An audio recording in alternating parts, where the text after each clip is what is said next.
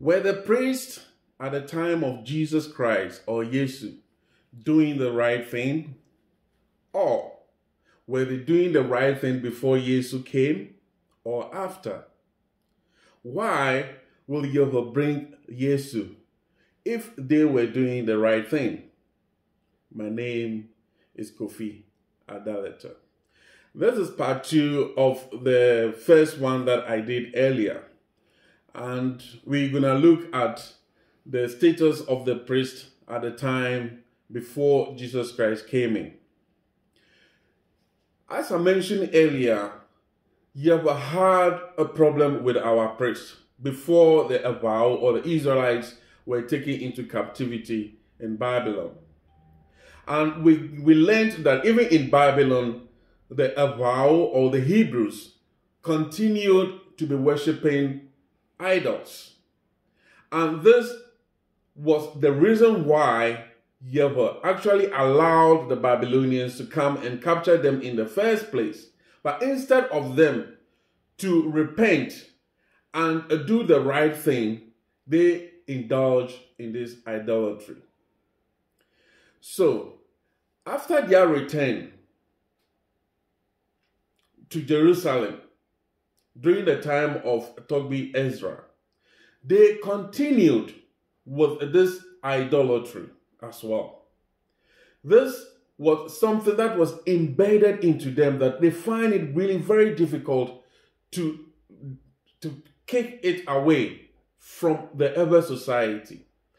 And the priests who were supposed or who are the intermediaries between the people and Yahweh, and those who are supposed to be holy and to do the right thing and to teach the people the right thing were so much involved into this idolatry in such a way that they find it very difficult to part away with it. So the people also became part of it.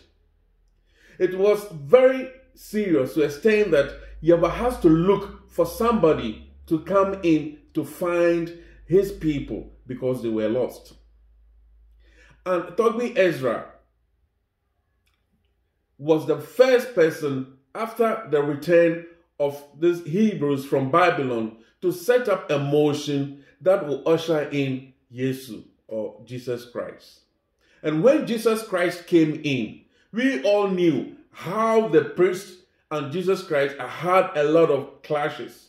In fact, intercessions or altercations that were between Jesus Christ, especially his teachings and the way he behaves um, with the people, were an upfront to the priest. They didn't like it because to them, Jesus Christ has come to take over from them.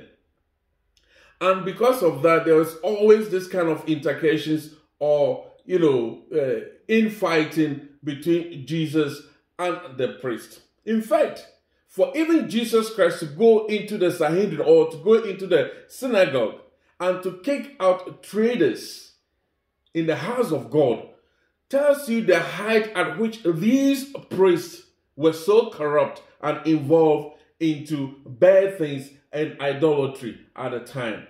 In fact, also, for Jesus Christ to tell us to go into our rooms and pray when we need to, also tells you that he does not believe in this priest. Otherwise, he would have said, let's go to this priest so that they can help us to to seek the face of God.